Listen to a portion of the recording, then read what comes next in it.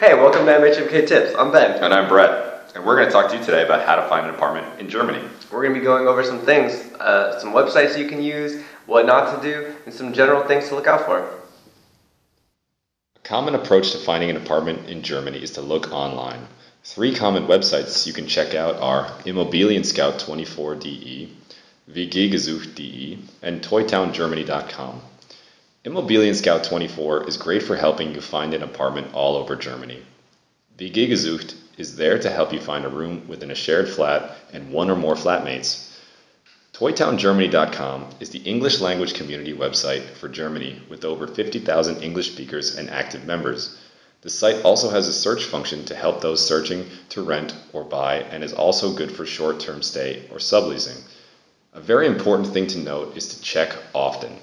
Try to avoid searching for apartments in September and October, as that is when the student semesters start and things get very busy. Another tip is to look for vacancies listed in your local newspaper. Be aware, though, that landlords are often looking to lease for long term, two to three years. The solution to that would be to sublet or find an apartment through WG Gesucht. Some terms you should know are Kaltmiete is when utility costs are not included. Warmmiete is when utility costs are included. Nebenkosten is the term for utilities. The Kaution is the deposit you make. Provision is the real estate fee, which can be more than 2.3 times the cost of one month's rent. So be on the lookout for provisionsfrei, which means there is no provision.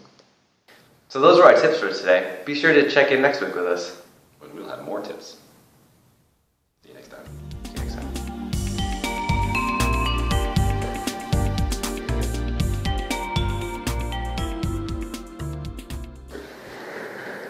Welcome.